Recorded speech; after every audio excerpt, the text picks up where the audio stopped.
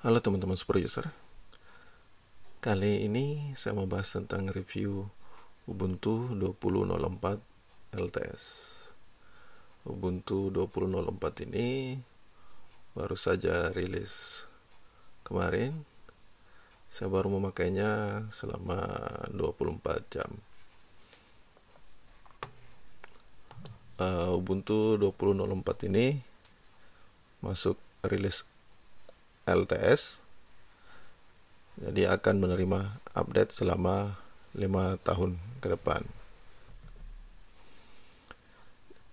Ubuntu 20.04 ini menggunakan kernel 5.4 yang juga merupakan kernel LTS dan akan didukung hingga uh, Desember 2021 untuk kernelnya. Kemudian uh, genom selnya ini memakai genom versi 3.36. Untuk Office-nya Libra Office versi uh, 6.4.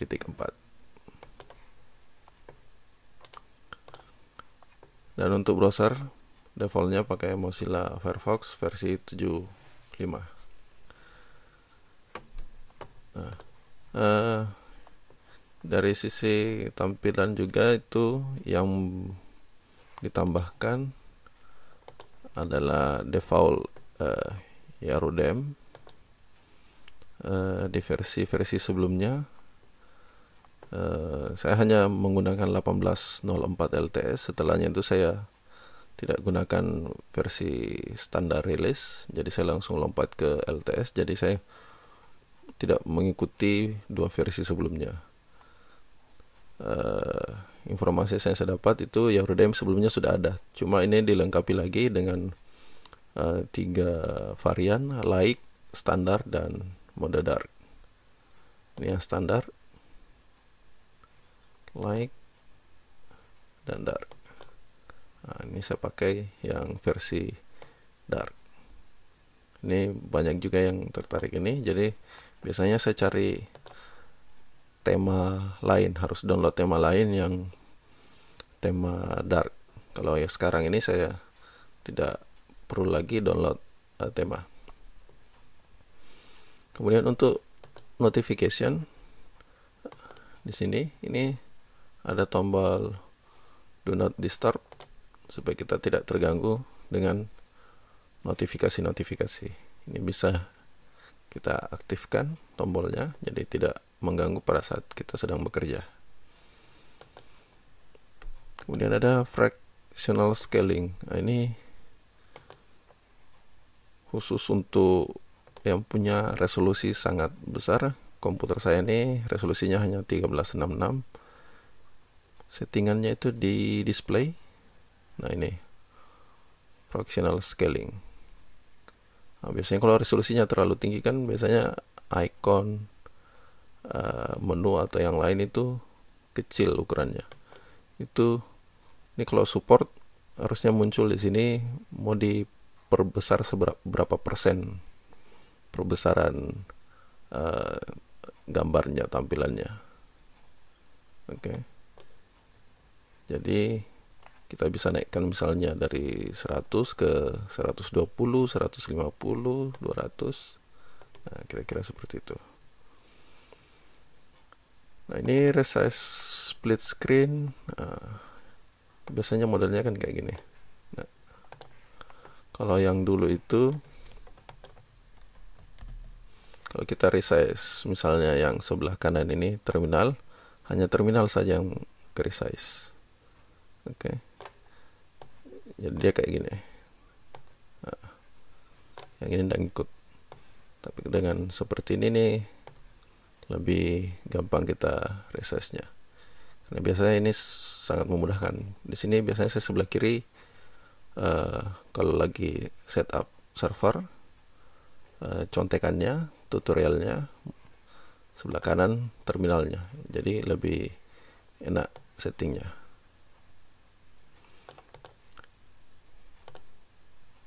kemudian ini launch using dedicated graphic card. Uh, saya cari sebenarnya ini sudah ada di versi 17 uh, kalau kita klik kanan misalnya di Firefox ini ini launch using dedicated graphic card. Ini sepertinya tampil kalau memang dedicated graphic cardnya terdeteksi berlaku untuk AMD atau Nvidia. Nah, sebelumnya di versi-versi sebelumnya graphic card yang saya gunakan itu AMD Radeon itu tidak terdeteksi sama sekali. Hanya Intelnya saja. Ini sudah terbaca sebagai ada AMD dan Intelnya.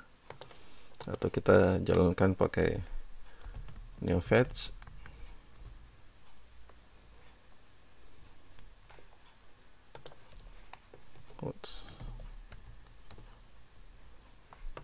nah sama juga kan?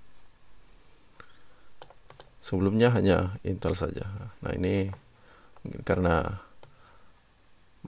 kernelnya.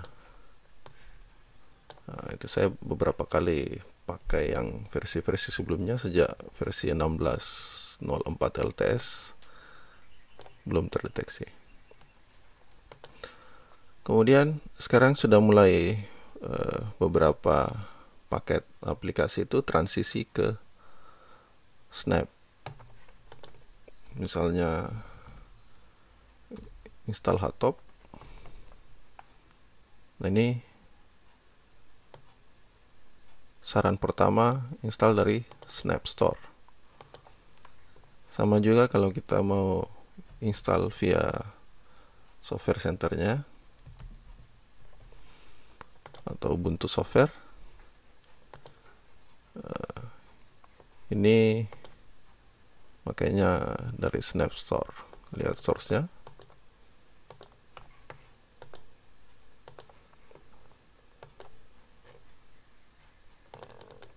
Oke, jadi beberapa sudah mulai di transisi ke Snap Store.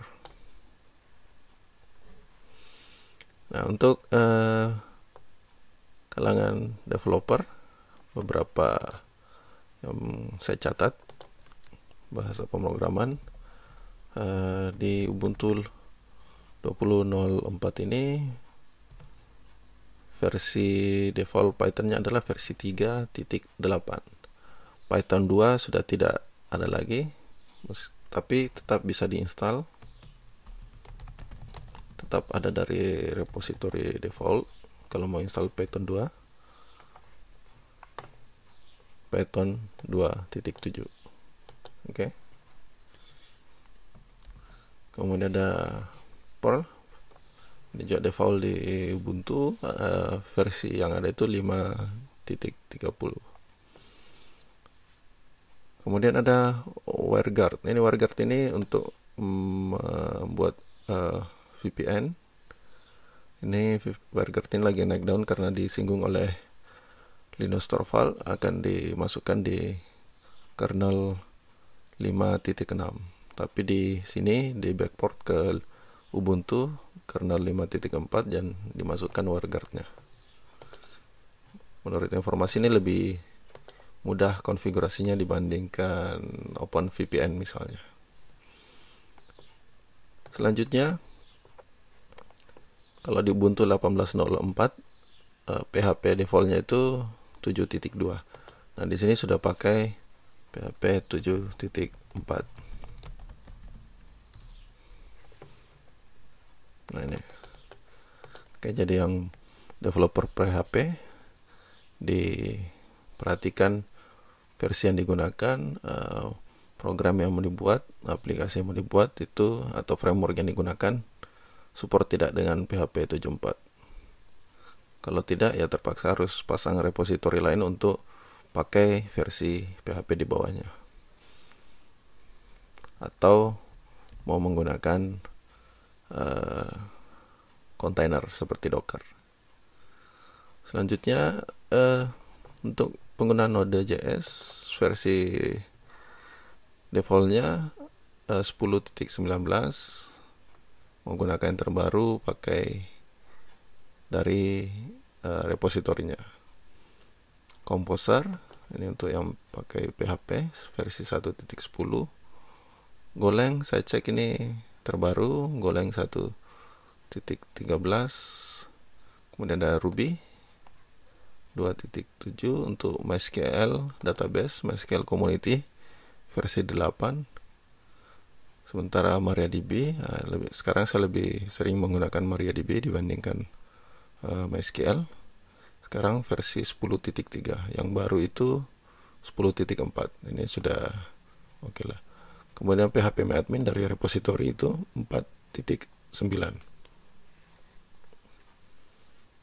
Untuk PostgreSQL versi uh, 12 untuk administratornya pakai PHP pgadmin 7.12 nah, ini kemarin saya sempat uh, install ada yang request salah satu klien uh, yang terinstall itu pgadmin 4 kalau itu harus nambah repository lain. Kalau ini dari repository defaultnya Ubuntu. MongoDB versi 3.69 ini saya cek sudah jauh ketinggalan dibanding uh, dari website resminya. Kemudian certbot. Certbot ini defaultnya sudah ada di repository kalau sebelum-sebelumnya saya harus install pasang repository PPA untuk certbot atau download dari uh, GitHub kemudian yang biasa ngoprek sistem operasi, belajar sistem operasi atau jaringan, misalnya butuh VirtualBox. Ya, VirtualBox yang terpasang dari repository itu 6.1. Kemudian uh, browser yang mau pakai Chromium itu versi 80. Nah, ini waktu install memang awalnya download dari repository, tapi setelahnya itu dia akan jalankan instalasi Snap jadi chromiumnya itu dari uh, snap kalau saya perlihatkan di sini